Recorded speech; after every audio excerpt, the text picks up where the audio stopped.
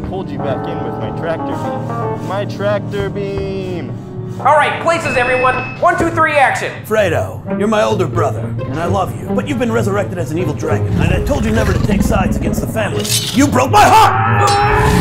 And Michael Corleone was battling dragons, and it had aliens and fantasy creatures. And then when I got home, uh, my fiance China was on a date with David Hyde Pierce. Oh, David Hyde Pierce? From Frasier? Yeah. What does it mean? Uh, I don't. This seems pretty random. Um, you know, does it have to have meaning? It could just be, you know, a bunch of junk I don't know. being spit out in your brain. Do dreams have meaning? I don't know. I, I don't know. Maybe we should talk to experts. Let's do it. So we, we haven't even met yet. This is we're just meeting now. All right. Dr. James. Dr. Well, James hello. Hyde. Nice to meet you. Nice to nice to well. No, we've met. We've met. Oh, you had just. hello, Dr. Never James. met. Hello. Good- good to see you again. How are you? Thank you. My first question, simple question with a very I just want a definite answer. Just one solid factual answer. Why do we dream? Well, one solid answer. Uh, You don't you don't have to answer it that way. That's Okay, yeah. A lot of people in our culture, especially, don't view dreams as particularly significant at all. So they're just something that happens when we sleep and sort of a byproduct of rapid eye movement periods during sleep, and that's about it. Well, uh, what do you think? Well, I don't think that at all. What is bizarre about dreams is that when you are dreaming, your brain is as active as when you are awake. You are processing a lot. Your heart rate is very, very irregular. In fact, that's probably a time where it, you are more at risk for cardiovascular events. Oh, wait, hold on a second. Who is this guy? Well, that's Dr. Emmanuel Mignot. He's the director of the Stanford Center for Sleep Sciences and Medicine. Okay, cool. Uh, what's with the dog? Well, This is Watson. Watson is a seven month Chihuahua, and he has narcolepsy. And I adopted him a couple of months ago. Most people think that the function of sleep is to save energy, so that you don't need as much food to survive. But then why would you periodically activate your brain in such a strange manner? It just doesn't make any sense. We don't know why it has been selected by natural evolution. if modern science and a narcoleptic chihuahua can't tell us why we dream, let's dig a little deeper. Throughout civilization, dreams have always had great significance. In ancient literature like the Mesopotamian Epic of Gilgamesh and the Bible, dreams often foretold the future, or were a way for God to speak to the prophets. The practice of divination through dream interpretation is called oneiromancy and was also practiced by the ancient Greeks and Egyptians. In ancient times, dream divination was seen as a perfectly reasonable way to interpret natural phenomena, and the meaning behind dreams was often taken very seriously. Then, in 1899, an Austrian neurologist by the name of Sigmund Freud published a book called The Interpretation of Dreams. and really, psychology has Freud to thank for honoring the dream to the extent that we are able to now. Freud believed that dreams were incredibly important as ways of getting at earlier memories or earlier conflicts that set us up for the kind of suffering that we're going through now. Freud's practice of dream interpretation was later expanded on by his colleague Carl Jung.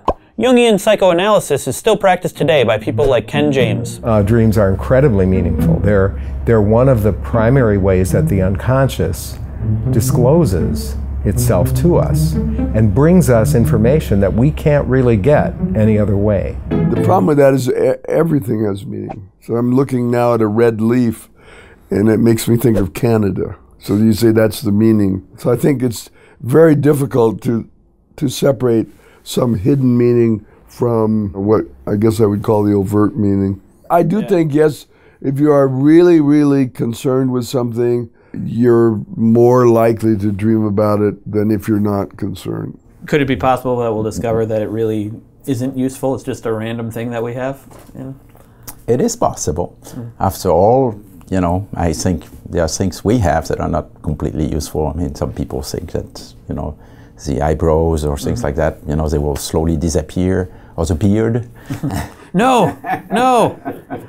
But uh, certainly, I mean, there are things that are vestigial. But it would be strange, however, because you know every mammal has REM sleep, birds have REM sleep, so it seems that it has a function that's very important. You know, that's a good point, uh, because birds and mammals both evolved from reptiles. Reptiles don't have REM sleep. So that means birds and mammals, separated by hundreds of millions of years of evolution, evolved the ability to dream independently. So then that means dreaming must have a biological function, not just a psychological one for higher level brains like ours. Yeah, because it's not like dogs and parakeets are sitting around analyzing their dreams. As far as I know. So, what could be the biological function of dreaming? Most people think that it's needed for cognition, that somehow REM sleep is important for maybe be more creative, for kind of activating the brain a little bit in a random way so that new connections are being made. Creativity must have a biology to it, right? This is Dr. Pelayo. He's a clinical professor of psychiatry and behavioral sciences at Stanford. Right? The biology of creativity may be, in, may be related to dreaming. Certainly people become inspired by their dreams. Many artists are inspired by their dreams, songwriters. God, Father, for what is it for? There should. Okay, okay, okay, that's nice. You know, dreaming doesn't only help you write songs or paint paintings, it also helps you solve real world problems, like video games. A lot of gamers have said they have trouble passing a level, they fall asleep, they wake up, pass the level. Easy peasy. Okay, um, so dreams can help you solve problems.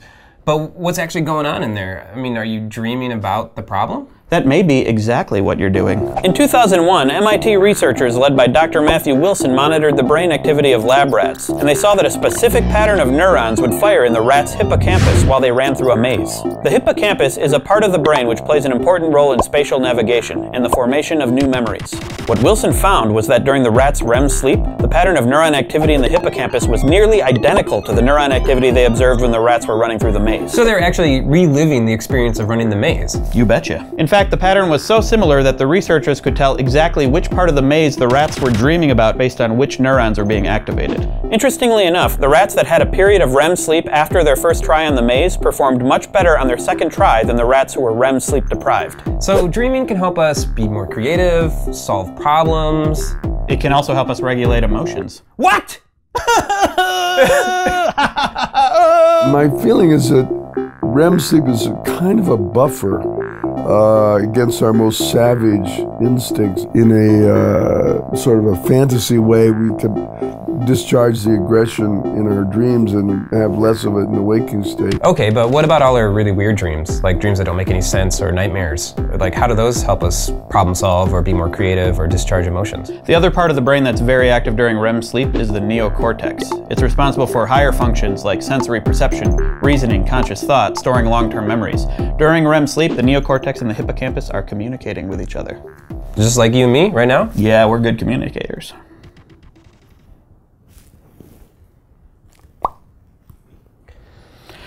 So imagine that your neocortex is a very handsome guy working at an office. Every night when we dream, he receives a new set of short-term memories that he has to sort through and decide which are important enough to store into long-term memory. Each time the neocortex processes a new memory, you experience it as if it's really happening. In other words, you dream about it. Now, most of these memories are probably mundane and not worth storing into long-term memory. Well, speak for yourself, Craig. My dreams are usually pretty interesting. For instance, I was. Actually, those are just the dreams you remember. Studies have shown that the vast majority of dreams are just normal routine stuff. You just don't remember them because they're not that interesting. How does the brain decide what to remember and what to forget? Well, things that invoke emotions are worth remembering. Things that make you laugh, things that get you upset are worth remembering. So you lay down that memory based on the emotional content of that memory.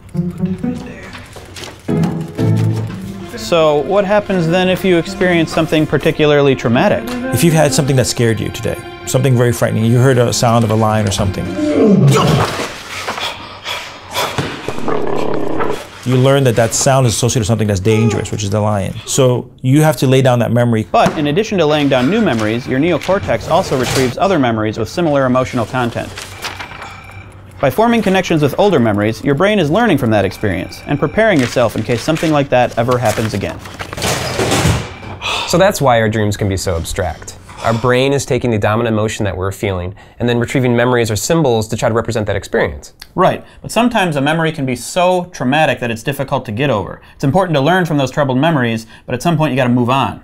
And that's how dreams can act as a kind of psychotherapy. So what happens in dreaming, one of the theories of dreaming is that we dream to remember, but we also dream to forget. In the following days or weeks, you may have the same dream of that same terrifying experience. So you want to relive those things and see the connections, but you want to remember the things without the emotional overlay. So your brain will look up old memories with similar emotional content and form connections with the new memory. Essentially, your brain is integrating that traumatic experience with the rest of your life. Over time, the emotion will become less powerful and overwhelming. This can help you move past the trauma, freeing your brain to explore other connections. So the next time you hear a scary lion, instead of being, ah, this is the worst thing ever, your brain is going to be like, ah, this is frightening, but I think I'm going to be okay. Right, but that function of dreaming is probably more applicable to our ancestors who had to deal with life and death situations all the time. Sure, but I can see how this could apply to everyday, you know, more moderate emotions like being nervous or embarrassed. Yeah. Is that it? Is that why we dream? There is no proof that there is a specific purpose of dreaming. there are many speculations and theories. The thing that's very impressive is that in a newborn infant, uh, half of the sleep is REM sleep. And since a newborn infant on the average sleeps 16 hours a day, that is eight hours of REM sleep, dreaming sleep every day. Now, people ask, what does a newborn infant dream about? And there's a question. Yeah. Have no answer for that un- unless dreams are, in, in effect, inherited or, or certain basic dream patterns are built into the brain. The idea of inheritance is troublesome because it's a little bit too individualistic. In other words, I inherit things, you inherit things. Actually, we have access to this vast sort of seedbed of images, themes, motifs just by virtue of being human. So it isn't so much that we inherit it as almost we come from it. This is what Carl Jung referred to as the collective unconscious. So it's possible that babies are dreaming about themes and ideas that are inherent in all humans. Sure, but maybe it's not as much of a mystery as it seems. Yeah, maybe babies are just dreaming about being babies, which would mean they're just dreaming about laying there. Lame. Well, no, think about it. You're a newborn baby. Everything you experience is completely new. Every sight, every smell, every sound. Everything is a possibly frightening, possibly amazing experience. Imagine what must be happening in your brain. You must be going into overload, bombarded with all these new experiences. If we think back to the rats dreaming about the maze, could a newborn infant's brain be replaying every experience in order to organize and learn from the world? After all, they're dreaming for as much time as they're awake. If so, it's no surprise they're dreaming so much. They're problem solving the entire world. They're learning to navigate the ultimate maze life. Wow. That was a really well crafted monologue, Matt. Thank you, Craig. Except for that last part, that was pretty dumb. Well, how would you have ended it? Maze of life, maze of life. It's a crazy life. It's a crazy life. It's a maze of life. It's a maze of life. So it turns out that sleep and dreams are still a mystery. But one thing we know for sure is that we need our sleep, and you can click there to learn about how. Another thing we know for sure is that you can like this video. We also know that you can subscribe by clicking up there. Also, we do have a Patreon page. If you really like our show and you want to support it, you can go subscribe over there. It's linked right up there. I guess that's a lot of things we know for sure. We're very smart. But we're not smart about knowing how many things we know for sure. Thank you. The rats they run around in the maze. We know what they're dreaming. It's so crazy. yeah.